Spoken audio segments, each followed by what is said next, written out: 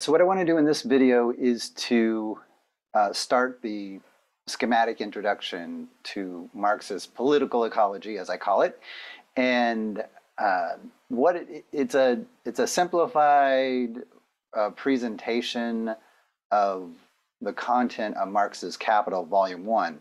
Um, I think it's fairly easy to understand uh, the way that I present it, and I think it's pretty accurate. Uh, uh, so uh, it's a very good way to to uh, learn about Marxism because you know notoriously people try and fail to read Capital. It's a pretty dense book, uh, but so I've tried to make it more digestible, but uh, using some visuals that I think um, get the key points across. Okay, so here is my slide presentation. All right. And uh, political ecology, I put that in quotes because it's a play on political economy. And um, as I think I've said before, but uh, let me just reiterate uh, in all of the English speaking world, except for in the United States, um, they speak of political economy. And then in the United States, we just talk about e economics.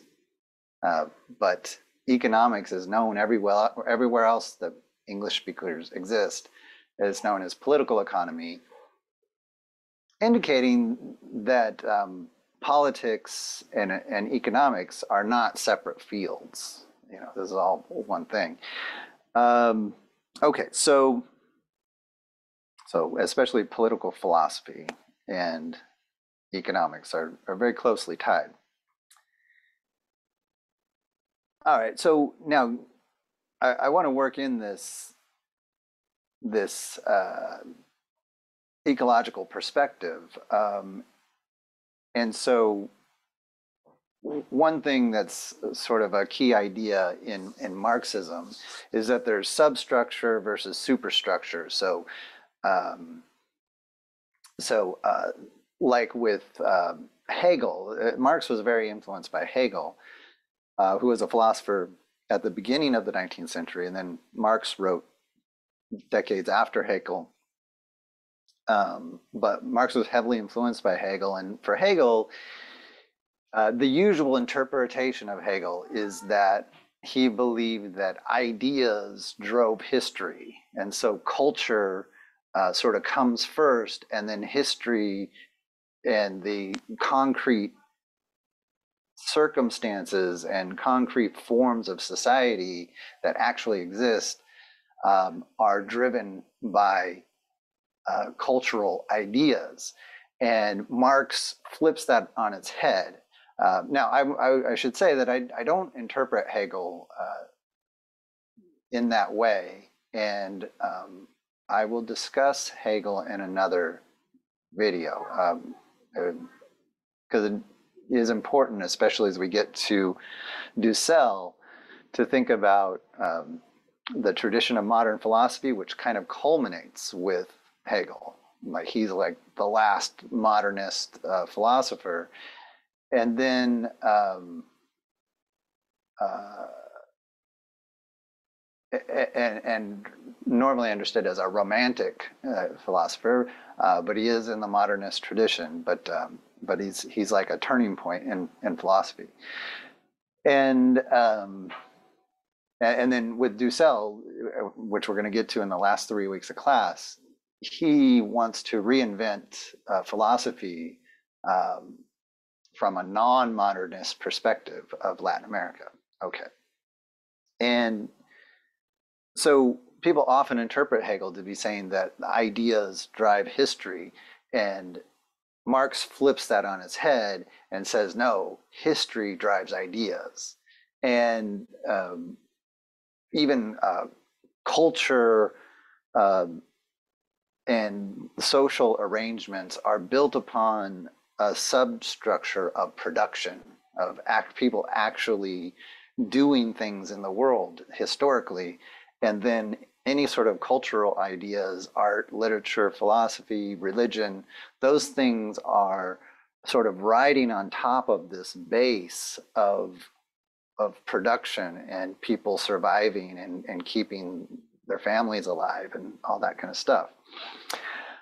Um, and species being, I'll, I'll talk a little bit uh, about species being uh, later on in these presentations on the schematic introduction to Marxist political ecology.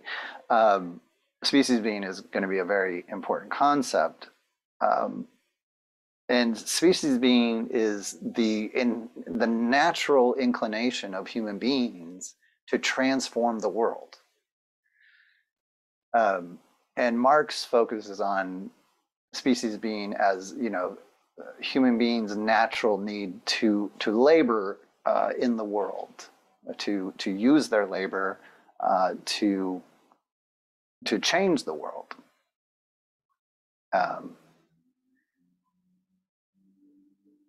and and largely that that historically that has come out in the form of agricultural production, but with the capitalist, uh, the rise of capitalism, and its um, its expression as the Industrial Revolution, production changes quite dramatically from anything that had been seen in, the history of the world up to that point.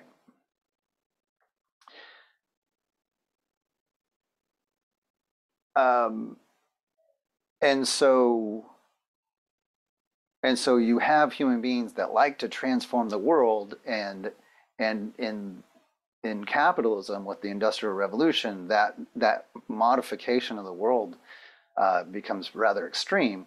So extreme to the point that we've changed the climate right?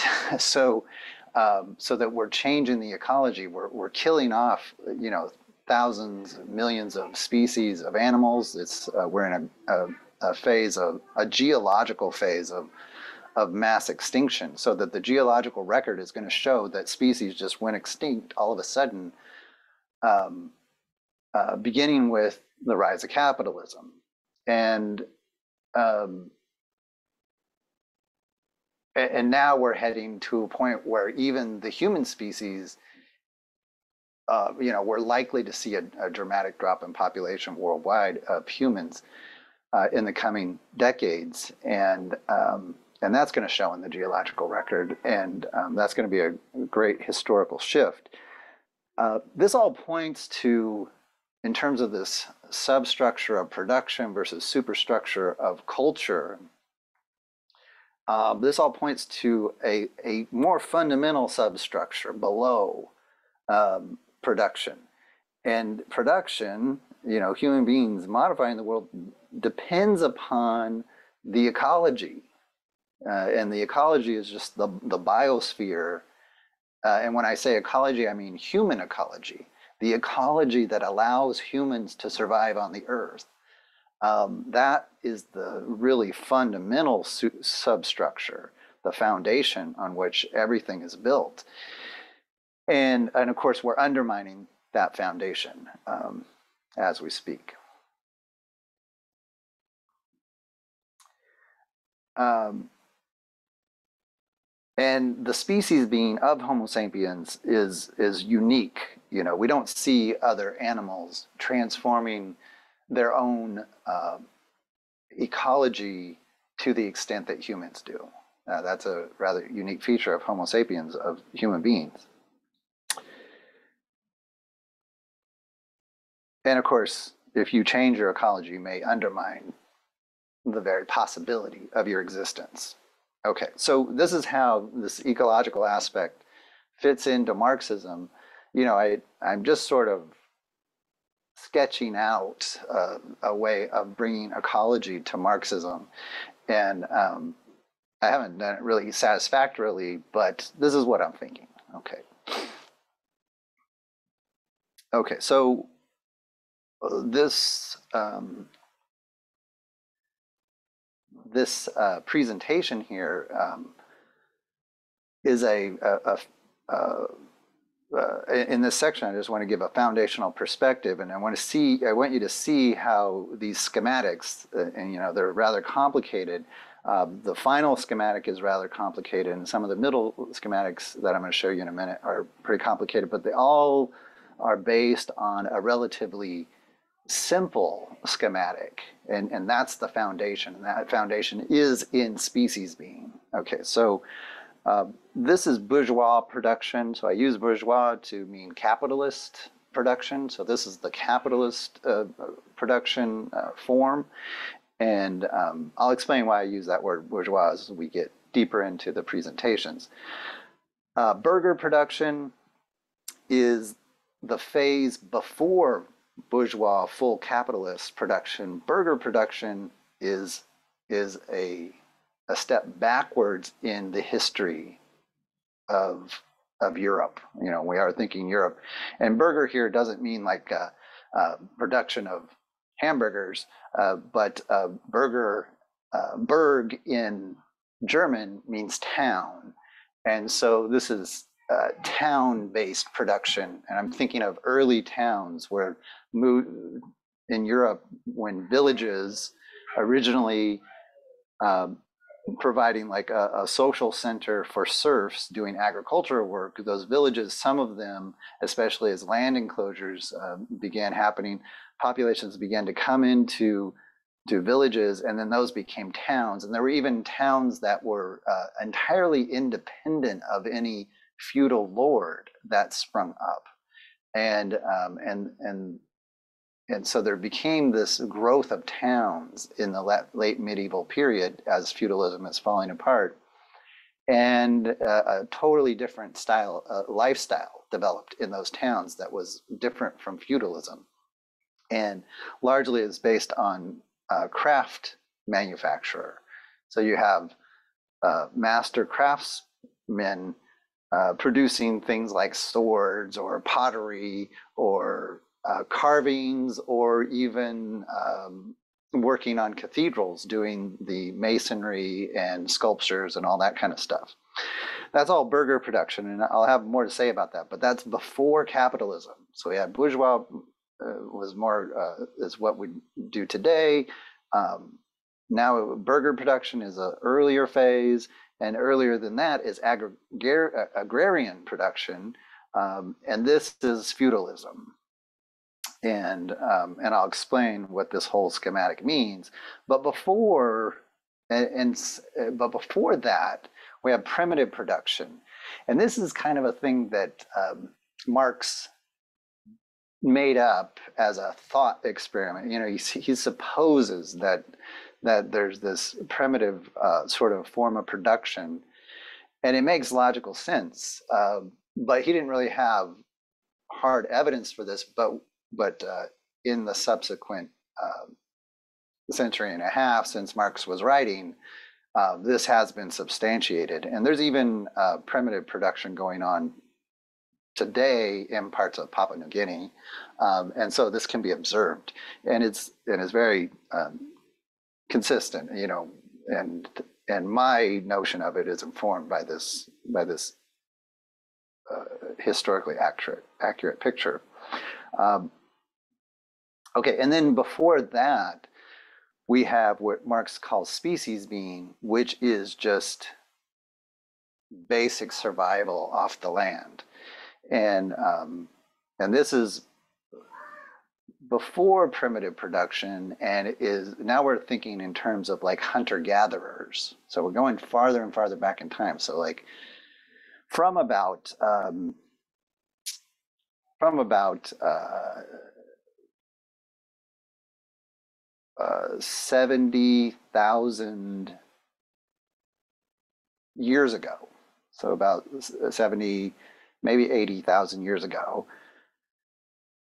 human beings sort of exploded, Homo sapiens exploded and, and moved all around the world. So the population grew and they became much more mobile. And uh, this is called the Great Leap Forward by, by some anthropologists. Um, and a style of life de developed around this, which we call hunter hunter gatherer societies, and so that's what species being is is like at that level of of uh, human history, and then you know this hunter gatherer lifestyle lasted from about seventy thousand years ago all the way up until about 10,000 years ago. And then 10,000 years ago, uh, things changed. For one, the climate became stable uh, into what we call the Holocene, and that's what we're living in right now. And the Holocene is has been for 10,000 years a very stable climate in which agriculture is possible. And so then you get primitive production. Uh, and of course, with the ecological cataclysm that we're brewing right now, um, we're moving out of the Holocene. And so, um, yeah, that's that's problematic. But uh, I'll have more to say about that at the end of these presentations. Okay. and so species being is the foundation. Okay. Uh, and this is just living off of the ecology the way it was before the Holocene. So this is really um, dealing with the ecological issues. And I should say, you know, uh, 70,000 years ago was uh, when, uh, you know, we're still in the ice age. Like the, it's not really an ice age. Um, it's an interglacial period, but it's what's commonly called the ice age, where humans were like hunting woolly mammoth uh, and and were dealing with saber-toothed tigers and there was a lot of snow coverage and a lot of ice. So it was a it was a a, a, pretty uh, brutal existence and, and not very conducive to agriculture. But hunter-gatherer uh, you know work totally was totally feasible and then uh, about 20,000 years ago the ice uh, the ice and glaciers began to retreat the earth warmed up and then about 10,000 years ago, that warming stabilized, and we still have the ice caps at, at the North and South Pole. Um, and and then we've just remained in this nice climate that's very conducive to agriculture. And again, we're moving out of that right now. So we're, what happens next, we'll see. Okay, and then from that, uh, from species being, we get primitive production. And then after that, we get agrarian production.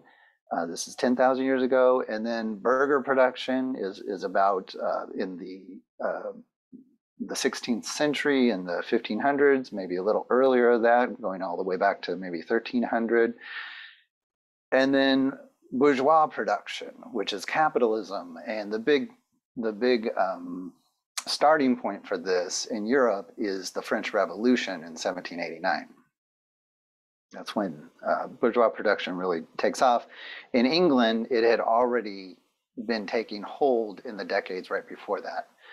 But um, but with the capitalist revolution in France, um, the uh, industrial production began to to take place all over Europe. And this is what we live in right now. Okay, so species being, um, I will discuss uh, first, uh, and I'll do that in a separate video. So I'm going to end the video uh, for this little introductory part uh, right here, and I'll see you in the next video.